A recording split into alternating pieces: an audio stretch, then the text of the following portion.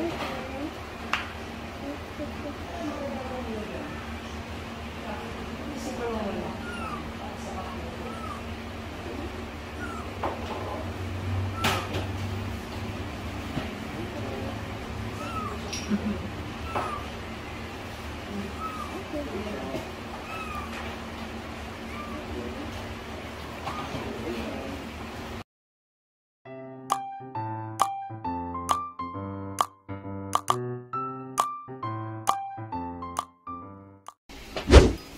Hi guys, welcome back to another episode of TV Vlogs.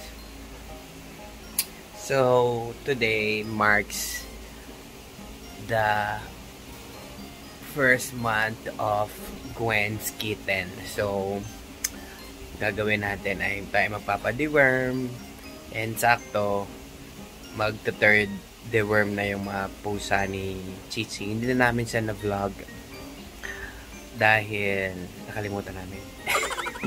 Pero ngayon, ipo-vlog natin ang sec uh, first deworm ng kittens ni Gwen and third deworm ng uh, kittens ni Chichi.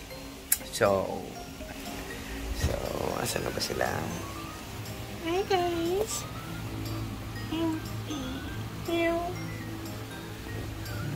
Meow.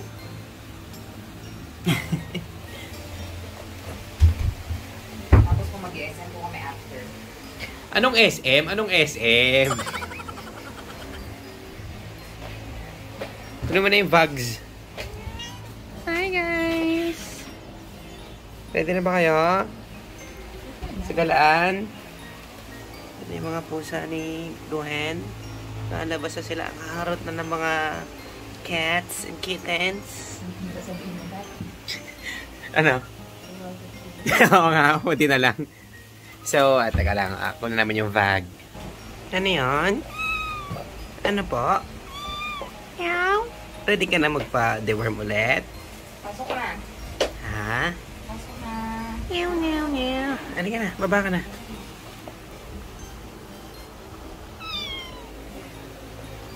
Okay. Bye guys. Dahil na dyan. Lucky. Pa. Dali. Ang isa. Day, ang ingay na nila kapag ka, ano, ay gusto nila nasa taas. With... Kinukulit ako. Oh? Binubuhat ko. Binuhat ko yan kanina, boy. Lahat sila nandun sa taas. Si Blackie lang hindi kasi marunong na yun eh. So guys, makulit na po sila. Gusto na nila umakyat sa kan katio. So, bag, ayan o, katio namin. As you can see, di ba? Si Blackie kasi guys, nakakaakyat na siya dito. So, ang gagawin niya, akit siya dyan. Dito, tapos patong siya dito. Tapos, pupunta siya dun sa bintana. Yung tatlo kasi, hindi pa marunong. So, tinutulungan pa, tinutulungan ko pa. Just like kanina. Yes, Chi, ano ginagawa mo sa mga anak mo? ah? Wala na, hindi na namin, pamimigay na namin yan. Mga anak. Ito yung mga anak po ni Gwen, guys. One month yan. Well, actually, actually, bukas pa yung one month nila. Eh, sabi nung vet, kahit a day before pwede naman eh. So, let's go! So, paalis na kami, guys.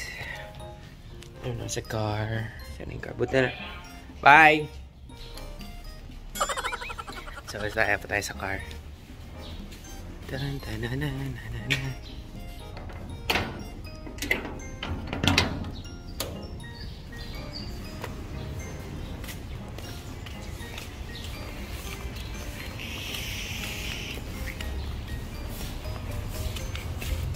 natin ng mga pusa sa likod ng car. So guys, we're back. Sales tayo sa.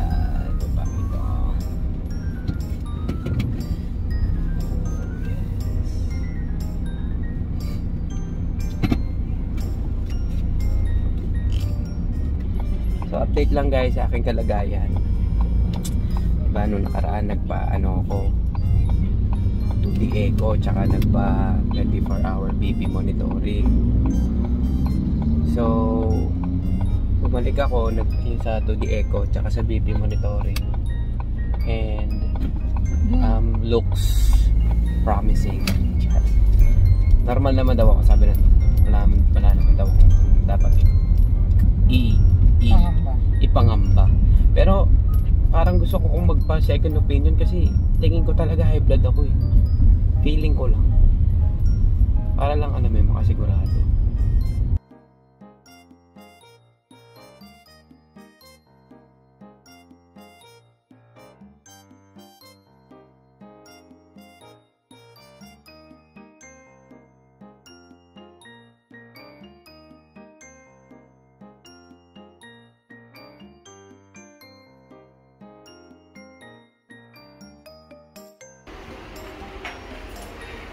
Hello, okay lang kayo dyan? Kaya nga eh. Ay, may puti din na po siya oh.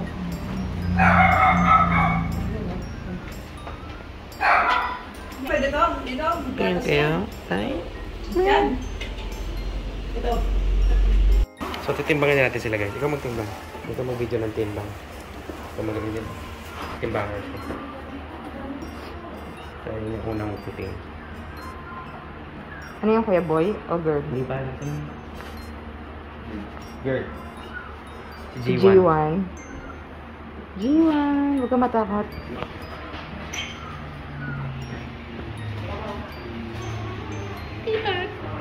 Eh, ang cute ng tita, ang liit.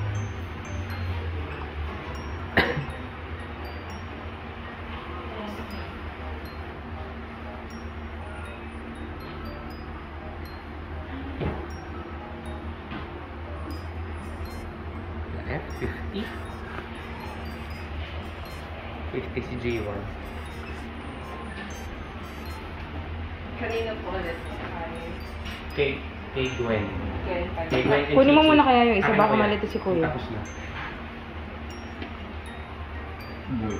Boy, Si B1. 150 din. Gaya-gaya kayo ng mga weight, ha?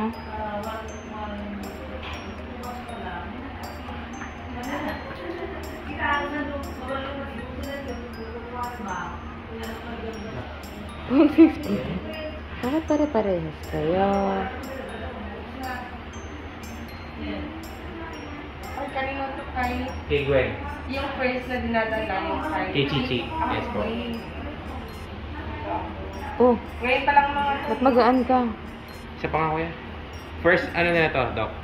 Ah, first viewer. Ah, point 50 Pero ano sila Doc? Bukas pa sila magawa naman. Ah, okay. Lahat sila 50.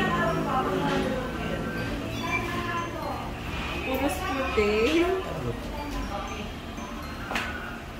G1. Ilan ang lalaki yung beauty pa?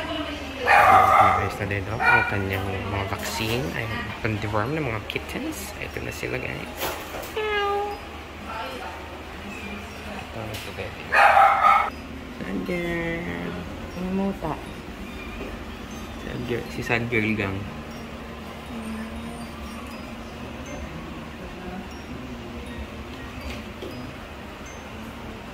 Bang bahay. Ay, nakita ko.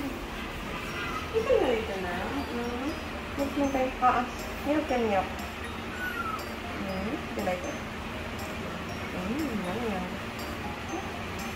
Medyo mahirap sa'yo. Nasa basic na. Ay, makulit. Wait lang. Hmm. Dinidilaan lang. Last na to, last push. Last push. Okay, picture. Sabay ko. Ano, no? Yung dalawa dok meron, yung dalawa wala. Ibalat.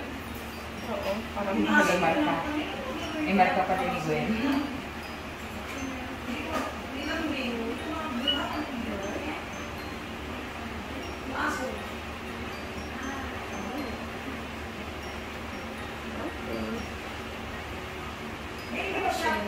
Last push.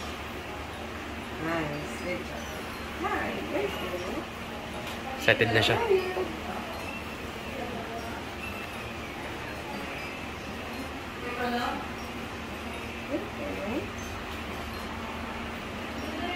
Pero parang hindi mo tain yung ano, no?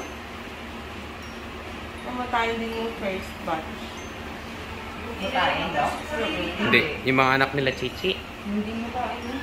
Hindi masyado. Ito lang. Sige, dito mo na. Okay, good. Ay, hindi ba rin dito ba? Hindi mo ba? May anak ni Chica. Nagalit pa siya. The last. Thank you. Bye.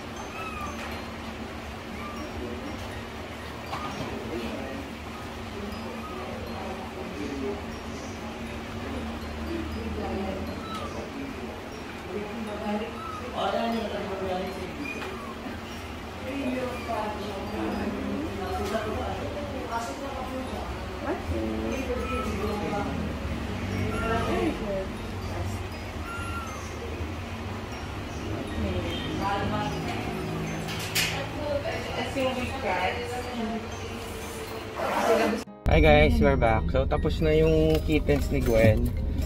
So mali ng computation yung last vet. So dapat sa um, July 11 pa kami babalik. So maaga pa for Chichi's kittens. So nagpasya lang sila. Promotion na. Yes. And after noon guys, after nung third na deworm, sige ate mauna ka na po. Parang nagmamadali ka eh. So anyway, after nung pangatlong deworm ay isa ating camera para makita si 4-in-1 vaccine. Ate guys, yan ating camera. Ayan. 4-in-1 vaccine. Ang halaga po nun dito sa aming trusted vet ay 750. Okay guys, 750 ha? Ang 4-in-1 is pag 2 and a half months na sila. Doon na Ah. pwede. Yes, two and a half months sila para daw, sabi ni Doc, medyo maturity. Maturity. Matured na sila. So, ayun. So, guys, 750 ang isa. So, guys, ha, hindi biro ang mag-alaga ng pusa. And also, trusted vet na kasi namin to eh. Hindi sila overpricing dito. Hindi sila overpriced. Well, para sa amin, sila overpriced. So, yung pagbebenta namin ng pusa, syempre magastos. And yung pagkain is, yun nga, pinapakain namin dito, Royal Canan. May baga pala kami nalaman guys, kami. May halak. problema. May halak. ang tawag, ang basa pala sa Royal Canin na yon is Royal Canan. Sabi nung ano doon, nung nagtitinda ng ano, promodizer ng ano, ng mga gamit. Ng Royal. Ng Royal. Kanan. Kanan ang basa, hindi kanin, hindi K9. kanin, hindi K9. Royal Canan daw. Kasi derived sa ano yun? It's a French ano, word. French word daw yon So, Royal Canan siya ha. Google nyo na lang guys.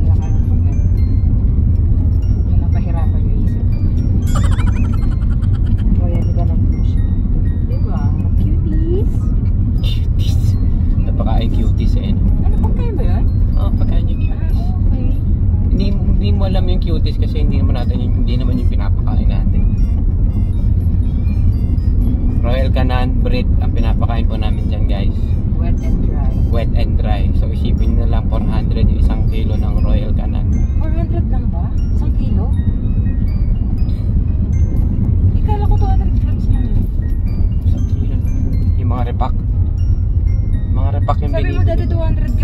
100 pesos.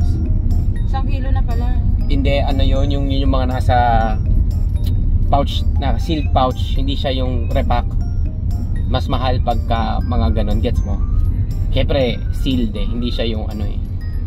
Sipin nyo guys ha, 400, oy, 300 plus, 380. Oh, sa'yo mo na 400 nga, isang kilo. Ilang araw lang. Ilang araw lang yun. Eh, ilan sila maghahati-hati doon? Walo. O kasi mag mag-wet food na tong mga ano, i-introduce natin kumain yung mga kuting, yung mga anak ni Gwen sa wet food. So, 'di ba? Guys, dapat wet food or yung dry babasain kasi syempre yung ipin nila hindi Baguhan. pa sila ganun ka ano ngumuya. So dapat kung dry ang kaya basain. Mga ilang minutes tapos pag medyo malambot na sa kanya papakain. Huwag niyong i-direct na dry agad kasi mahirapan silang ngumuya. Pero eh, syempre, yung papakain natin dry sa ay wet sa kanila bukas kasi bukas pa sila mag first month eh. So, Tsaka para poop din nila siguro maganda. Yes. Kaya kailangan basain. kailangan ng ano, maliter tayo ng mahigit ang mga anak Bilis ng panahon, ang isang buwan na sila.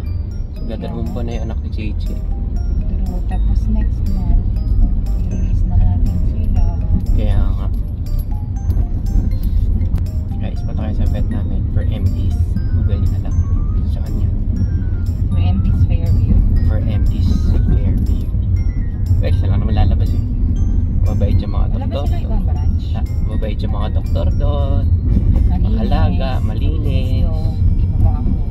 siya amoy ano, hindi siya amoy pet shop or vet. Kasi usually may mga ganong amoy eh. Mababa. Pagpasok mo ng vet, may ganong amoy. Yung sa ano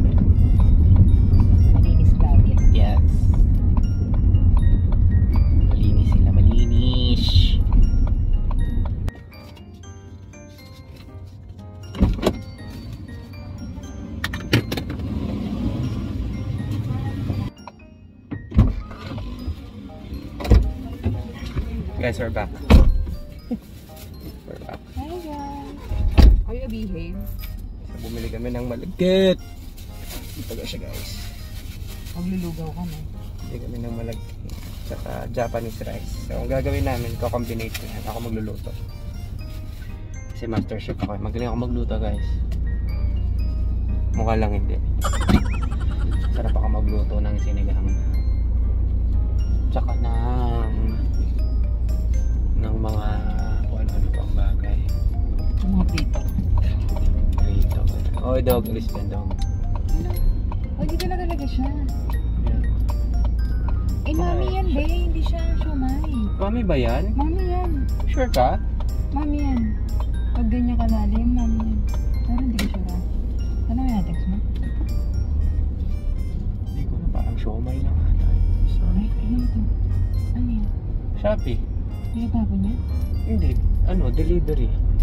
Nilalapag lang. One crew siya, one crew. One ko.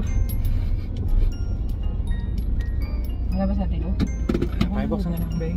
Ayan yung mga buckets. Ah, yung mga buckets.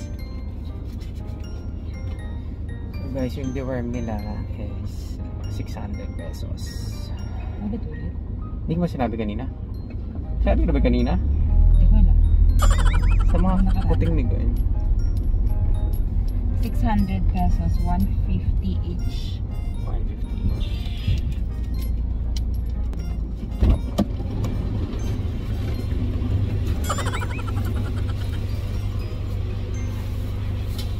So guys, we're back. Andito kami ulit sa bahay. So, ah, ayun na nga. Bago siya na magpa-vet ni Gwen. Yeah, guys, papavet na rin ako, guys. Ayan. So, si Evie yan. Ayun, guys. So, kakain na kami. Mamatay na kami sa gutom. 3 days na kami hindi kumakain. Charot! Kain muna kami. Ayun. Ah, ayun lang sa quick vlog sa updates sa mga kittens ni Gwen kay Chichi. Again, thank you guys for watching. Please make sure to like, share, and subscribe, notification bell, para kayo sa mga vlogs namin. And again, maraming maraming salamat sa panonood ng simple vlog namin. Thank you, thank you again for watching. See you sa mga upcoming vlogs. Bye!